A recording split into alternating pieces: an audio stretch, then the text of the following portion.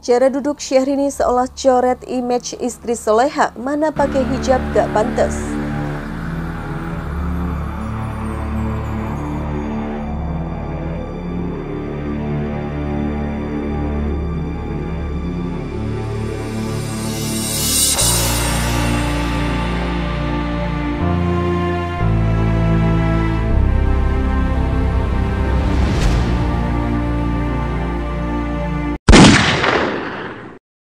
Dapur berita artis terkini.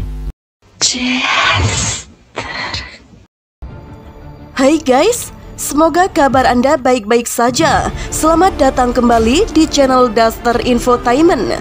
Terima kasih karena sudah memberikan support dan juga kesetiaan Anda untuk membangun channel ini. Masih ramai dan menarik untuk dibahas perihal kehidupan Syahrini usai menikah dengan Reino Barat.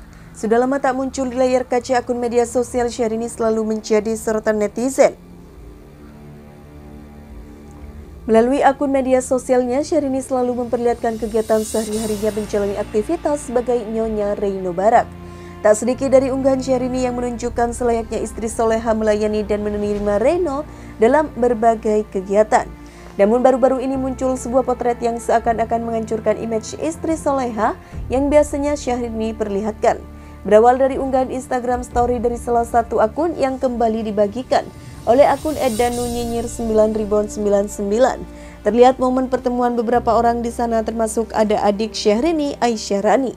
Semua saling menyapa dan say hai ke kamera, namun di tengah rekaman video tersebut nampak Syahrini yang tak menyadari ia sedang direkam sedang duduk di sofa sendirian. Yang menjadi sorotan netizen adalah cara duduk dari Syahrini, bertolak belakang dengan image yang ia bentuk sebagai wanita soleha selama ini. Asik menatap layar handphone Syahrini terlihat duduk seperti pria dengan posisi paha mengangkang. Duduknya wanita soleha tulis akun Ed dan Nunyinyir 9999. Tiba netizen membandingkan Syahrini dengan Luna Maya yang sedang sibuk melanglang buana. Dah biasa ngangkang kali dari orok sahut netizen. Istri orang kaya duduknya seperti ini, mana pakai hijab lagi, gak pantas banget dilihatnya, sambung netizen lain. Luna sedang melalang dunia, Bude Chel sedang mengangkang durjana, komentar netizen lain.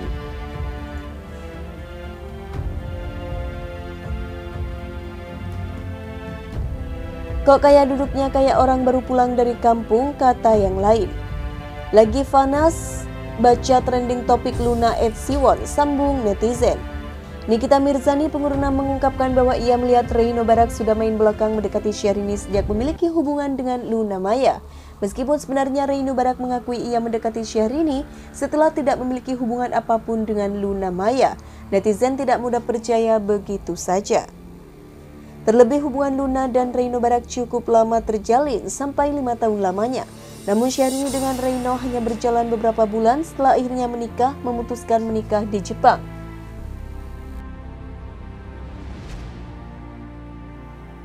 Sudah berubah hidup Syahrini, bisnis keluarga bangkrut, gerai tutup hingga sesekali bergaya ekonomis.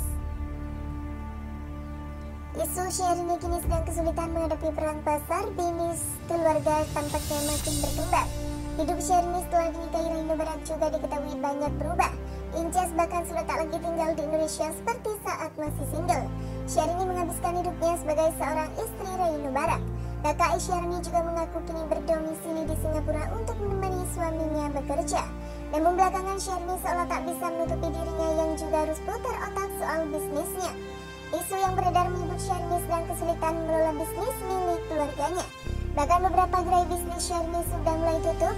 Injas tak lagi membuka beberapa gerai bisnisnya di bidang kuliner. Bukti-bukti bisnis Syahrini semakin lama semakin berkurang memang sudah berkembang sejak pandemi. Saat pandemi beberapa bisnis dan ekonomi memang diketahui sangat lesu, Syahrini punya banyak bisnis di Indonesia. Dari mulai makanan hingga karaoke, sebagian bisnis Syahrini masih laris manis. Namun sayangnya bisnis dan beberapa malahan tutup. Bisnis cake bernama Princess Cake milik Syahrini memiliki cabang di kota Bogor dan kota Bandung. Selain itu, istri Raina Barat ini juga memiliki usaha kuliner bakpia Princess Cake yang berada di Yogyakarta. Namun sayangnya kini toko kue milik Syahrini yang bernama Princess Cake di Jalan Ahmad Yani, Kecamatan Tanah Serial, Kota Bogor, diketahui sudah tutup. Dilansir dari tribunnewsbogor.com sudah sejak September 2019 toko kue milik Princess Syahrini itu tutup kosong dan terbengkalai bak gedung tua.